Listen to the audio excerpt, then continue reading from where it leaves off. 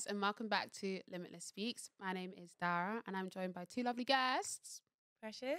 and Lydia. And I'm sure you've been keeping up. We've been speaking recently about the names of God. And today we're going to be doing a brand new one, which is El Roi. Woo! okay, so first of all, I mean, we start very basic. So we don't assume that everyone knows what it means. So can someone please explain to us what El Roi means? Lydia will. Lydia will. El Roi means the God who sees me. Wow, beautiful.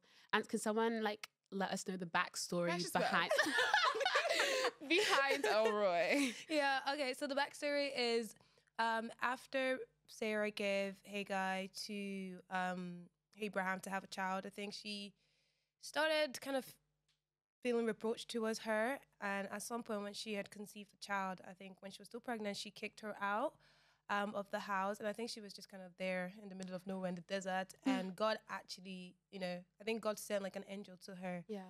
Um, and I think she was just marveled at that how God literally, you know, saw her in her situation.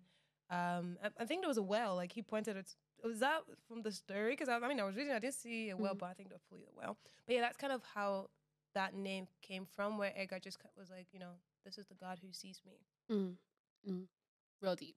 And I remember I was literally like looking the story up on Google because obviously I know it in the Bible, but I was looking at someone like talking about the story, and someone was literally like that Hagar was verbally assaulted and like also sexually assaulted. She was, And I, was like, that. we actually don't talk about No, that because she actually went through a lot. Like for me, I was just like, sorry, it actually got a bit deep. No, but like, I if you actually that. like understand the severity of the story, because I think we understand it is we don't always relate it to our time because it's it's so far gone. But like, Mhm. if you actually start to think, oh, actually, she went through it because it's the thing of like, literally, you know, they had this promise we're gonna have a child. It wasn't seen like it was coming to pass. Sarah was like, hey, I know a girl. Like, like, do as you please. Do you understand? I mean, I mean, then they were kind of like property in that sense. Mhm. Um, so it was it was a really really tough story actually when you think about it. And so she's in the desert with her child, no provision, no nothing, and sees someone and has that reminder of no, I'm God and I see you, even if nobody else does. So it's that really really um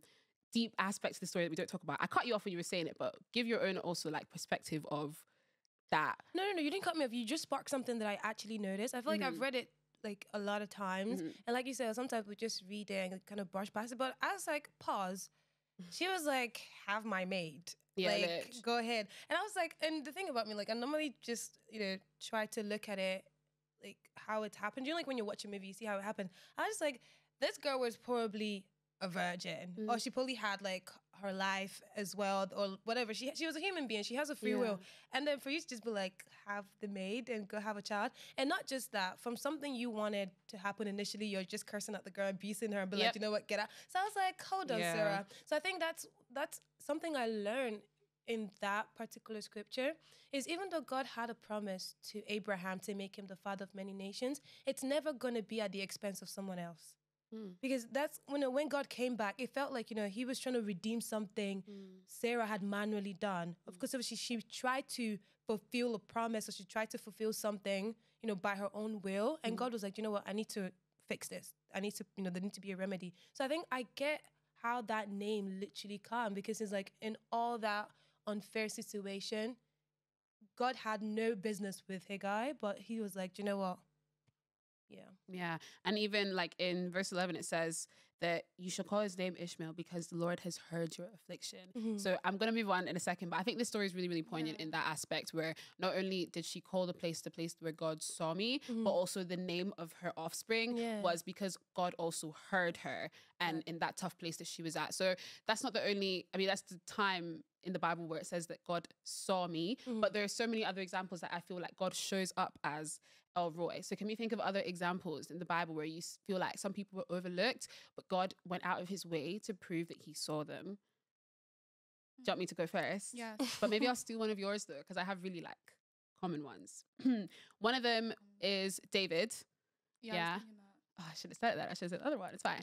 It. Is is David where um Saul had to go out, Samuel had to go out and look for um the next, Yeah. you know, king.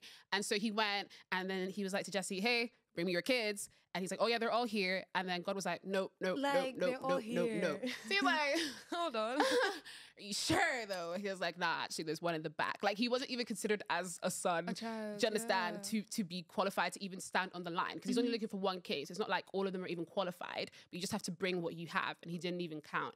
You know, and God was with him where he was. God was with him in every single step of the way as well. So that's someone who I feel like God showed up personally to be like, nah, I see you, um, even if other people don't. More examples. Do you want me to help you? No. Okay. Um, Precious can just go first. I think, um, funny enough, you guys. I think I like the way you guys kind of looked at it from, from you know, you're not even considered to, you know, God sees you. Because Mm. I think when I was kind of prepping and, and planning for this, the way I was gonna look at it was from that point of unfairness, right? yeah. And there's two example, and if I give this two example now, that's all I have to say Oh, for the wow, entire video. But we can we can talk- start talking later. But there's there's one there's um somewhere in the book of Psalms, I think this is when there was a three year famine in the land when David was king. And David was like, Hold up, God, like, what's going on? What's the famine about? And then God said to him that it was because Saul had killed these family, like these people from this family. That's why whatever it's happening. I'm trying to see if I can find it. And it was like, That's why you there's this famine. So, you know, in that instance, it was like, although God loved David and you know David was a man after God's heart, God was still fair to these other people Saul had literally massacred their lineage, right?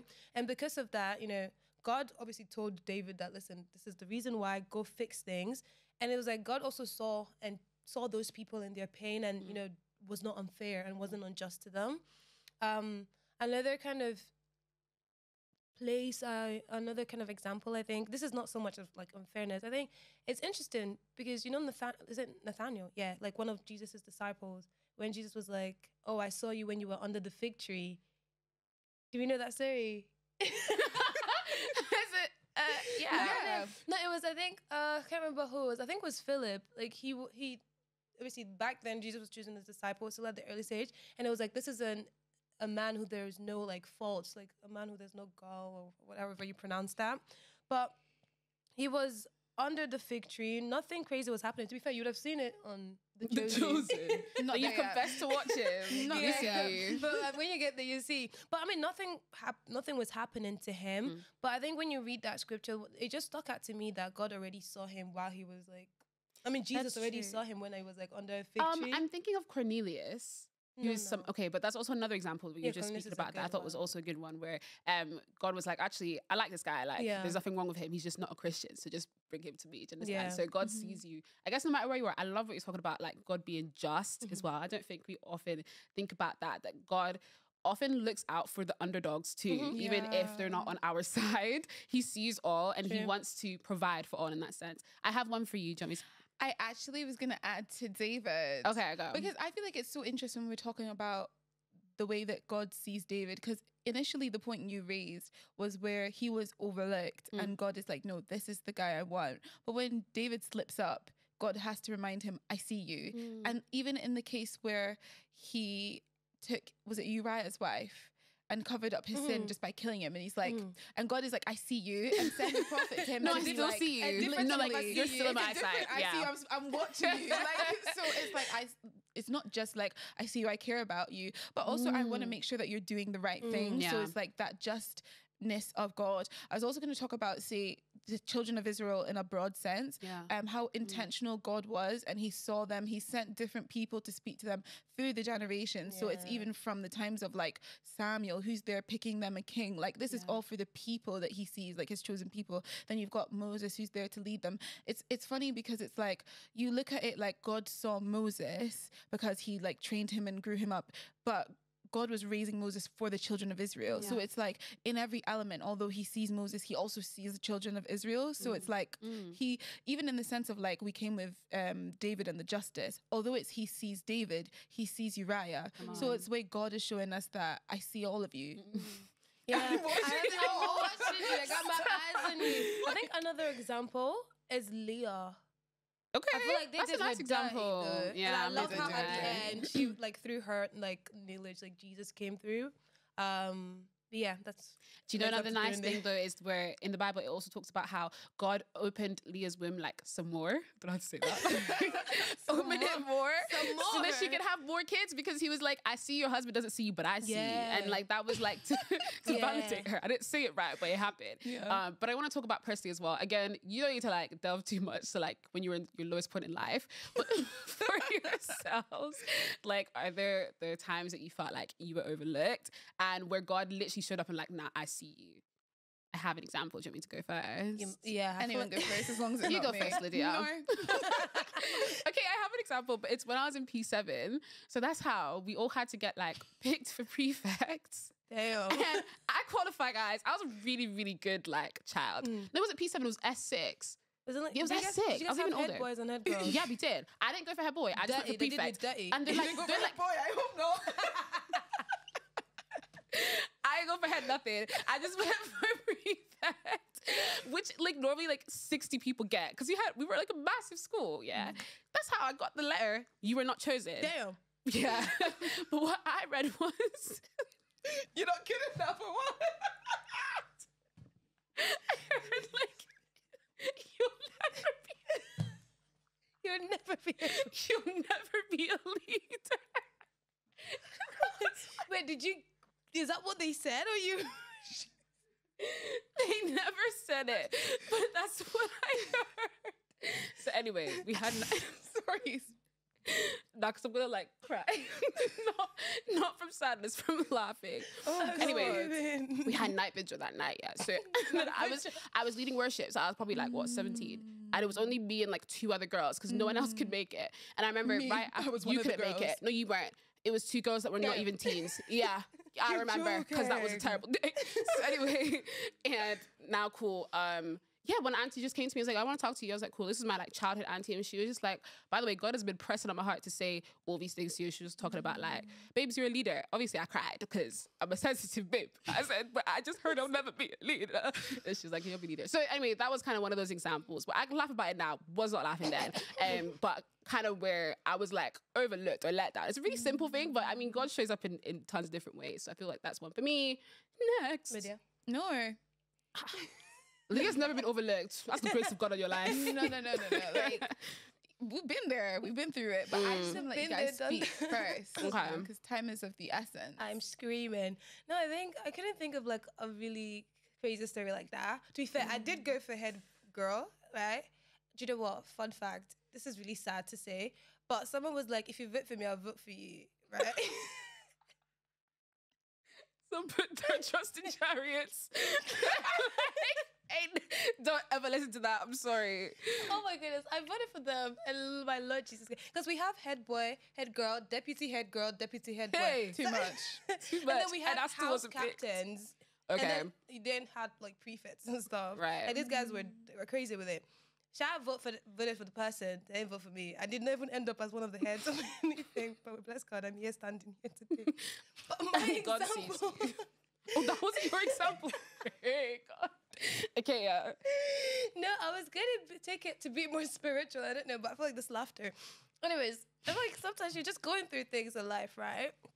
And like, yeah, you're just going through things in life, and then you come to church and you come somewhere, and then God is like playing the song that, like, Mm. no, like, sorry, the church is playing the song that you were just like listening Yeah. to, or the verse, you know, someone said, and you're just like, damn, you Yeah, yeah, yeah. knew, so you He's so saw me. intentional. Yeah. I see. for me, my biggest God sees me moment of my life, if I might say so. I'm screaming.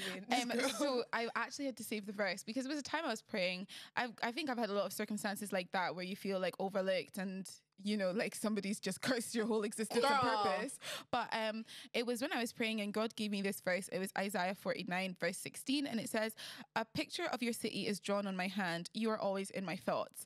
And I feel like I've never felt so seen as in that moment where God is literally like, you're praying, he he sends you to a word, and it's like, I'm thinking about you. Like right there, I was like, "What are you even thinking about me?" I'm like, "I know I'm praying to you, but oh my god!" But it's, it's actually like it makes you feel so like not so small anymore. Like I feel like when you Mm. realize that God sees you, Mm. you realize your significance as well. Because there's Mm. how many billions of us here, and it's like God has the time to just make and make you know that He sees you and He knows what's going on in your life. So I think that that's True. That's Yeah. deep. I was literally about to like ask you guys as well. Um, kind of like what are the symptoms, I guess, of like being overlooked, which I guess you kind of said, um, where you feel small, Yeah. insignificant, like there's no future, purpose in life. Purposeless. Yeah. Anything else? I think just when you experience kind of like things are unfair, Mm. like unfair to you in a certain way, like, and it's just everything back to back.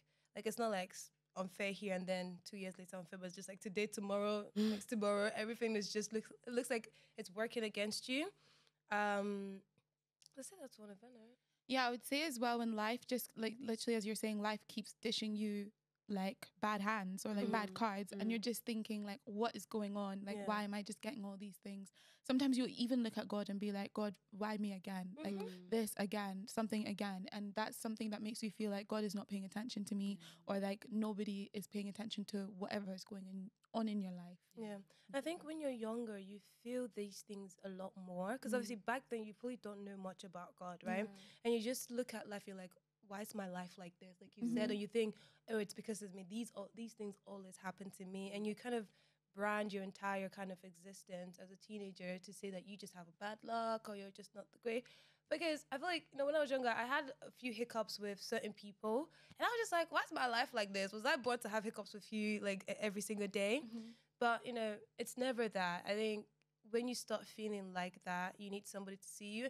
And to be fair, I'm glad that auntie said it, but it's like it wasn't coming from her. Yeah. And that's the, that's the amazing part. Like he always uses someone, and you're just wondering like how? Because like there was a time, you know, we were in a meeting.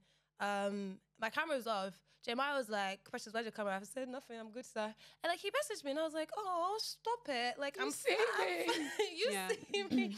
But yeah, like th- things like that, and you know that it's never kind of like Shallow. yeah. Like it's coming from deep. Absolutely, and I'm one of those type of people. Like I'm a like I'm a feeler. Like I feel things, and like sometimes like I reach out to certain people, mm. but I know it's not like me myself and my abilities. It's always kind of like God wanted to reach out to someone else, and He uses people and stuff like that. Exactly. I was even just gonna say it's all about perspective, isn't it? Mhm. Like I think the more you know God, the more Mhm. you can see things the way He Oh. He does. That's the more how you feel seen because Mm. you'll know how He sees you, know Mm. how important you are to Him. Mhm. So yeah, Yeah, I feel like God is really, really intentional about those things and Mhm. also letting us know Yeah. how much He sees us. Because you know, there's verses in the Bible where He's like, "I know the number of hairs on your head. Like, I know exactly, yeah, what's going on with you." And I feel like we need that again, like you were saying, so that we feel like there's hope and purpose in life. And I feel like He also allows us to go through those periods to show up. I mean, I always say it like God is. I don't want to say like he likes a big entrance. Like he just likes a Mm. dramatic thing where like I'm here. Like and you can't deny that it's Mm. me here. So I think that's one of those things um that he he's definitely so intentional about is showing up personally to every single person. We've spoken a lot and I really want us to start rounding up. nah, I'll start telling you We've about my other lot, traumas. what we have. So um, but I also want us to kind of speak from a perspective of encouragement now. I know there's a lot of people where, I mean, we could talk about how we made it out. There's a lot of people who are still probably feeling like overlooked, overseen, um, that my time should be here, but it's not here. My opportunity should be here, but it's not here. What kind of encouragement can we give to people to be like, now God actually sees you and he's going to show up? I knew you were looking at me before she even finished the question. Yeah. I think a good place to start is just commit yourself to the Lord. Because I think I'm going to speak from a perspective of you're a teenager. You probably don't know about God yet because I feel like you feel a lot of emotions when you're a teenager, right?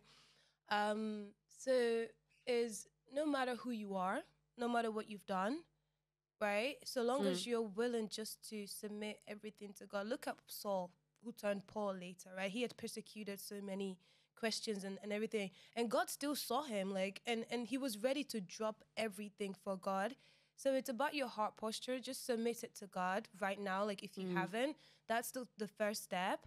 And you know, there are situations that you think, you know what, I don't think God is gonna answer me. I don't think God is gonna listen to me. Maybe it's because you've done something wrong. But again, it comes down to just being humble with your heart posture because it says, you know, he brings the humble closer to him. He drops the pride, the proud, my God. yeah, he drops the proud, you know. Um, and the humble, you know, he's he lifts up the humble, he brings the humble closer to him. So I think it starts from a place of humility. Because if Hag- Hagar had sat there and cursed out um, Sarah, which she had everywhere, I mean, I mean, biblically speaking, um, by the, but you should have got asked this, but it's yeah, fine. yeah, but by Um, the leading of the Holy Spirit, no right. But you know, it, if she like if she had cursed out like Sarah, then then that would have been like her answered prayer, like her answer. I don't know if God would have showed up later because like now you're satisfied, you're content because she screamed her, her back. But it's just about you know submission and submitting your heart to God. That's the first step, I think. You know, in my opinion, um, don't take matters into your own hands once Deep. again because it's only going to be temporary. Let God avenge for yourself. Let God come through for you and things like that. Yeah, so I think for myself, um, thank you, Precious, as well. I think for encouragement basis, cling to God and get closer to God. Um, give things time as well, because even though what things may look like naturally or may look like presently in your life may not make sense, may be a bit of a mess and things like that, God is so intentional with the way that He does things, and that He'll show you why He's doing these things. The closer you get to God, the closer you allow God to show you what He's doing, the more you understand what's going on and the more you feel seen. Because when God starts making your life all make sense, you understand how intentional He was with you. So. Mm. Yeah, that's beautiful. And I think as well, you know, we're talking about clinging to God, going to God. I think it's being open and honest with God. God can take it. Like if you actually want to be very, very He honest can with God, He can it. take it. I mean, He's heard worse. So I think it's really being like God. This is exactly how I feel right now. This is exactly how I feel like the situation looks. Sometimes I feel like you left me. I mean, David did it. He was doing up, you Yeah. forsaken me, God, and why? Why do you hate me? Do you understand? But he came back on the thing of like, God, you're faithful. What can I do? You're gonna come through because we do know it's the case. But in in the situation, we often struggle to see the light afterwards. So it's really, really being honest is is kind of my I don't want to say advice. It's my two cents. One of my lessons. Um, because I cried back then, and I will still But cry. look at where we are Amen. Again. um, but that's pretty much all for today. We hope you guys enjoyed it. I feel like enjoyed it. we did. gonna El Roi, the a God who sees. So we really, really hope that um, there was also some encouragement and stuff that you could take from that. Please follow us on our Instagram at limitless underscore FOL on our YouTube here. You can subscribe down below and follow us on all the other social media TikTok. displayed. But let me Thank you to at our you. editor. He's Do you doing want a them to put great it on top of job your hands? on top of my hands like this. All right, guys, thank you so much. Have a lovely day. See you later. Bye.